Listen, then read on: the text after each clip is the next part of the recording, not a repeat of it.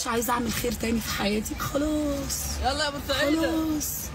قالوا أجدادنا خير تعمل شر تلقى.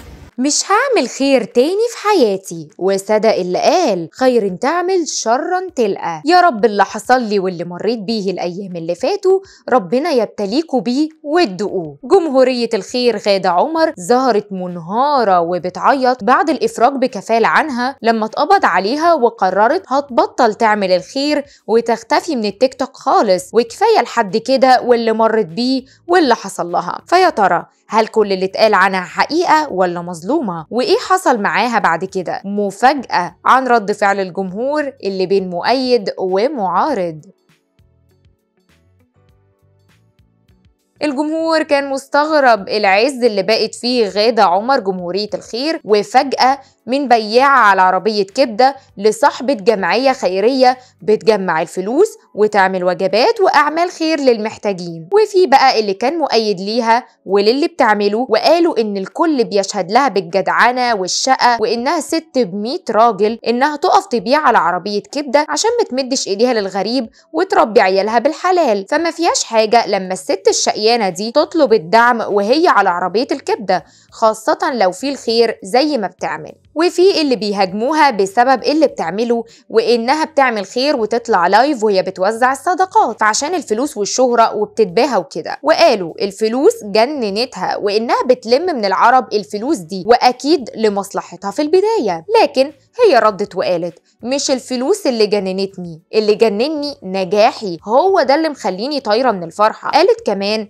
إنها من صغرها متعودة على حب الخير والصدقات. ووالدها كان بيعمل قدامها واللي في إيده مش ليه. عشان كده كتير من المتابعين طلبوا منها تخلي حبها للخير ده بشكل رسمي وقانوني وبعيد عن السوشيال ميديا ويكون عندها زي جمعية أو مقر تقدر من خلاله تعمل الخير اللي نفسها فيه وتبعد عن الشر وتغني له وتبعد عن الهجوم وتلفيق التهم اللي بتتعرض له دايما. وفعلا ده اللي عملته غادة لكن لا الناس سابتها في حالها ولا الجمعية كانت سبب في إن التهم تبطل تلحقها وتقدم بلاغ ضدها واتقبض عليها وتوجه لها تهم كتير من ضمنها النصب وإن الجمعية دي كستار لأعمال نصب وإنها بتستغل الصغار عشان تلم الفلوس من اللايفات اللي بتعملها. وقعت غادة كتير ومرت بظروف صعبة وهجوم وانتقادات أكتر وكانت بتقوم وتكمل وما كانش بيشغلها كلام الناس اللي هي عارفة إنه لا بيقدم ولا بيأخر وشافت كتير في حياتها